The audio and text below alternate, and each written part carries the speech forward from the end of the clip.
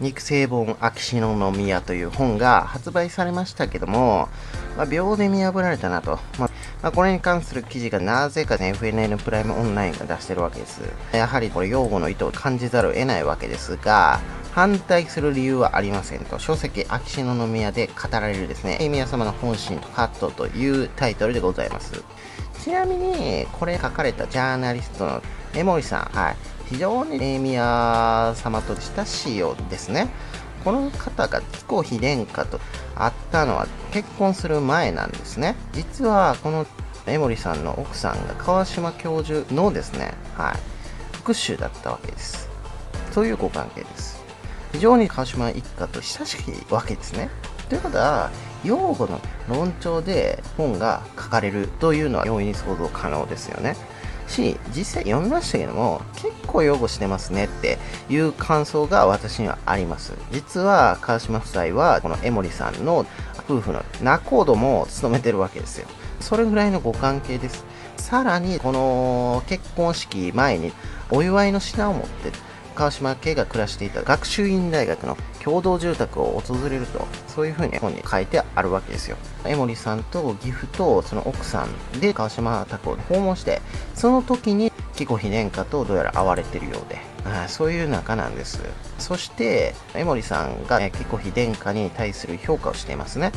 平成皇室の中で紀子妃の存在はとりわけ大きかったと。えそうした彼女の努力は、えもっと高く評価されてもいいだろうと。そういうふうに書いてあるわけです。まあ、ですから、この本は用語の本なのかなと思います。私ね、まあそういう事情あんま知らなかったですから、暴露本かなと思って買ってみたんですけど、ななかったですね。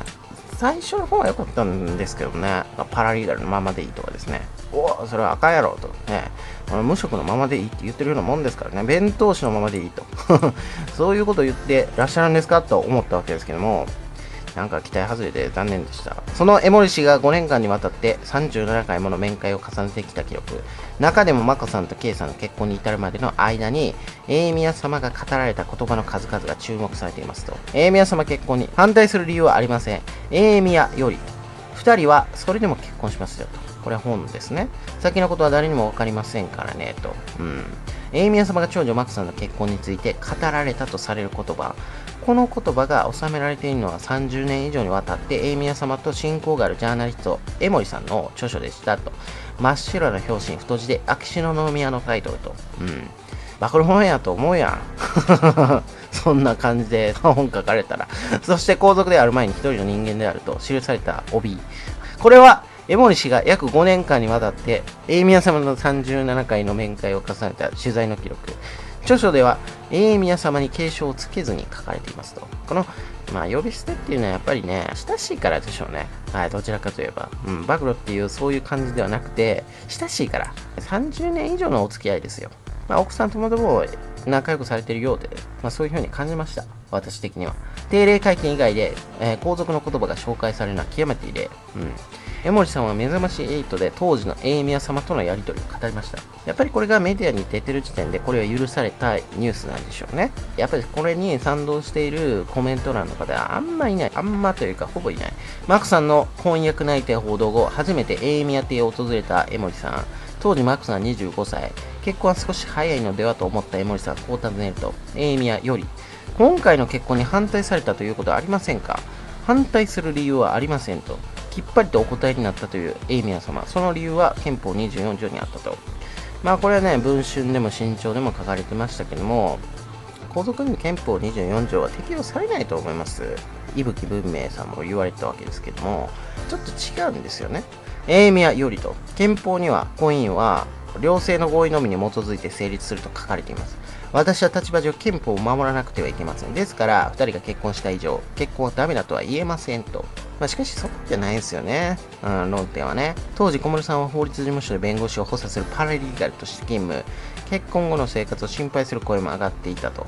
江森氏がエイミヤ様に小室さんの今後の仕事について確認するとと、えー、エイミヤよりですね、本ですね。今のお仕事が定職ですよ。パラリーガルのままでもいいですよと。うん、パラリーガルのままでもよかったら、今のロークラークでもよくて、実質ロークラークが弁当配達になってるんですが、これどういうことでしょうか。えー、皆様、国際弁当士に、あ、間違えました。国際弁護士になるか否かは結婚の条件としていなかったというんです。ナチュラルに間違えました。取材した江森氏はと。あのね、弁当士ばっかり読んでたらね、ナチュラルに間違えますわ。ジャーナリスト江森さん。エイミヤ様としてはあまりそういうことにはこだわらずに、やはりまあ、2人やっぱり身の丈に合った形であればいいし、2人で幸せに生活してもらえばそれでいいんじゃないかというようなお考えというかお気持ちだったと思いますねと。うんまあね、本がね、必ずしも真実言ってるとは限りませんからね。しかし、婚約内定報道後、一部メディアでは小森さんのネガティブな情報も報じられていましたと。心配した江森さん、こう質問しますと、エイミアよりと、相手の男性の家庭状況など事前に調べたりされましたか？と。個人情報がいろいろとうるさい時代なので、家庭状況などを調査すること自体に問題がありますと。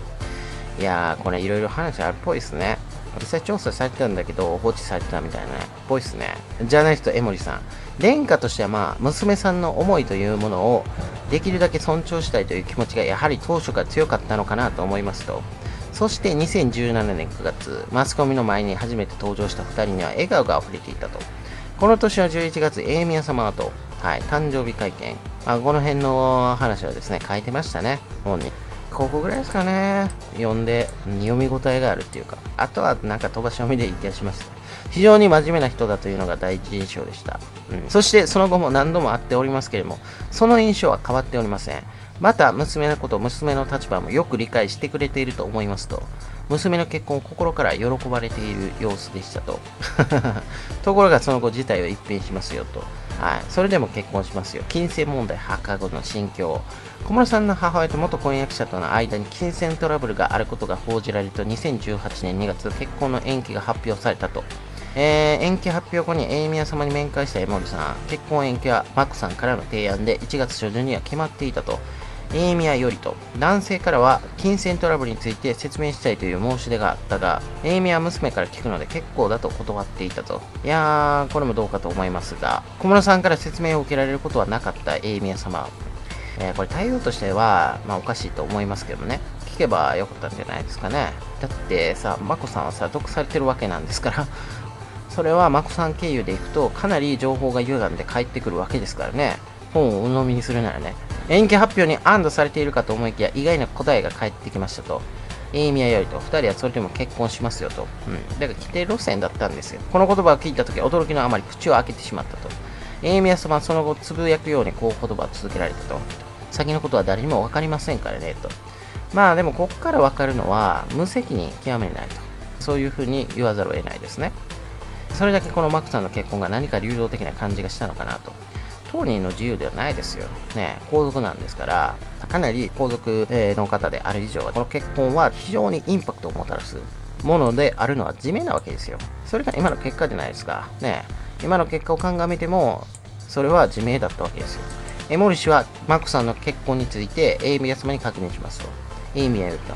マコ様の結婚へお気持ちに変わりはありませんか？まあねえと。エモリ氏はマコさんの気持ちが変わっていないと受け取ったと言っています。うん、娘さん毒されてますから、もう毒牙にかかってるわけですよ、マコさんは。そして3月に大学院を終えた小室さんの新しい仕事について尋ねると。卒業したからといってね、すぐに新しい仕事が見つかるわけではないという趣旨の発言をされた。どこか歯切れの悪さを感じたという。すると突然、エイミアより、これだけ週刊誌でいろいろと書かれているんだから、週刊誌で書かれている金銭トラブルは全て小室家の話だ。エイミア家は全く関係ない。だからきちんと国民に対して説明するように本人に話してあると。しかし、これは小室家が一番悪いのはそうなんですが、まあ、マコさんもマコさんですし、対応取られてなかったお父様もお父様だと。そういうふうに思いますね。エイミアよりと、エイミア、え、小室家への不満について自分から進んで喋ったことはこれまでなかったと。何かが彼の中で大きく変わったようだと。そして2018年5月のゴールデンウィーク明け、この辺までは読み応えあったんだけどな。再び宴会した際、エモリ氏は予想しなかった言葉を聞くことになります。エイミアより。突然、エイミアはボソッとつぶやくようにこう言った。どうするんだろうと思って、その瞬間私は雷に打たれたような衝撃を覚えた。ああ、これ文春にも新潮にも書いてあったね。うん、18年夏にもと。で、そうですね。小室が金銭トラブル解決しないままね、何も説明しないまま海外に飛んずらしたっていう話ですよね。まあそれ自体はやばいやつやなとしか思えないですけど、うん、まあそういうやつやろうなとしか思わないですけどね、小室のことを。小室さんが数ヶ月後に日本を離れ、海外の大学に留学してしまうことを聞かされ、耳を疑ったという江森さん。だから何とも思ってないわけですよ。我々の税金が使われることをね。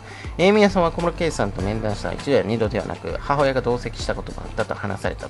さらに国民への説明を求め続け、小室家を警備し続ける警備の費用についても検討するよう伝えられましたが、小室さん側の反応は鈍かったと。鈍かったんでしょうね。本当に。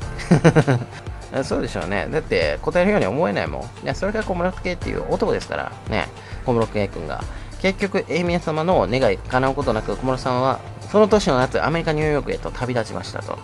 その結果、この年の11月誕生日会見でエイミヤ様は、それ相応の対応をするべきと、小室圭さん文書公表と、それ相対応がこれなんですかと、ね、思わざるを得ないですが、続きは次回に回しますか。で、本題なんですけども、コメントですね。見破られてるわけです。この本に関して。WWF ジャパンのつながりがなければね、この言い訳も通ったかもしれないが、無理がありすぎるなと。自らをただの人というなら、数々の特権に疑問を感じないのだろうか。それはそれなのかな。親子揃ってダブスタが好きですね。やはり戦後からの復興を達成した時点で、まあダブルスタンダードのことですね。うん、見直す必要があった制度ですよと。もう昔のようには機能もしてないし、これから日本を背負う子供たちの、世代になれば、さらに矛盾が浮き彫りになる。ちょっと一般人には理解しがたい。いくら個人情報を云々と言っても、娘の嫁ぎ先で問題が起こっても全く調べないとかありえない。それに陛下がよく話し合うようにとおっしゃってたように、話し合ったようには取れなかった。この記事を読んだ限りでは、ですが、鵜呑みにするならばですね、ジャーナリストは江森さんの代弁に何の価値があるんだろうかねと。何が起きたのか起きているのか、税金がかかっている限りは感情より正直に公開すべきでしょう。それだけのことをしてきているからだからね、と。そういうわけですね。えー、本が出版されたこと、その内容らしきものを驚愕していると。えー、皇室という存在は民主主義国家である日本において特別な存在だと思っていたと。国民に敬愛され、えー、敬の念を抱かれている特別な存在、えー、義務、権利等、憲法とはかけ離れた存在でありますよと。いうの念を抱かれてるわけですよ。メーガン・ハリ商法に手を出した感ありますよね。元祖の2人ですら、ああ、なるほどね。イギリス帰ってくれんと言われてるのに、この本出せば理解を得られると思ったんでしょうかと。まあ、こういうふうに正体が見破られてるわけです。くだらないことに時間を割かないで身を正せばいいだけなのに、そんなに難しいことでしょうか。不思議でならないですと。えー、そもそもこんな本が出るのがおかしいと。小室夫妻の維持費が分かれば天皇の存続論にもなってく、えー、ると。税前贈与などわけのわからない記事があったが、せめて皇后陛下、天皇陛下をしっかりしててほしいと、うん、言われてる方もいらっしゃいますね。私、やっぱり読んだ限り、用語本のようにしか見えないわけですね。序盤の暴露みたいな内容でも対応がおかしいのは明らかでして、それは本をおみにするんであれば、そして小室君は小室君だなとしか思いませんね。どちらにせよ、呆れた。っていうわけですね。少なくとも印税という収入源になったんではと。それを求める以外の意図は少なくともこの記事からは見当たらないと。何か釈然としない本だ。真実があるわけでもなく蒸し返しの感が強い。買う気が起こらないと。買っちゃったよ。ちょっと最初本で読んで、早う読みたいなと思って、Kindle で買っちゃったよ。いやー、やらかしたなパラリーガルでもいいじゃないですか。身の丈に合った生活をすれば。今まで一度たりとも年収300万円で生活したことない人が、下り顔でこのことを言った時に、この元新聞記者は突っ込まなかったのでしょうかと。週刊誌でインタビュー記事読んだけど、とにかく腹が立った。それに憲法を持ち出すなら憲法にあるように納税と勤労の義務はと。テレビで大体内容が分かりました。読んでみたか、えー、感想もテレビで十分。これまで報道されたことばかり、正直がっかりしました。髪の毛が落ちたような表現がありましたが、違和感がありました。中盤になって読む気もかなり失せました。というのが正直な感想ですね。暴露期待してたんですが、残念でしたね。というわけで、あまり評価良くない、まあ、秒で見破られてしまうというわけで、以上でございます。それでは皆様ご一緒に地下室、お疲れ様でした。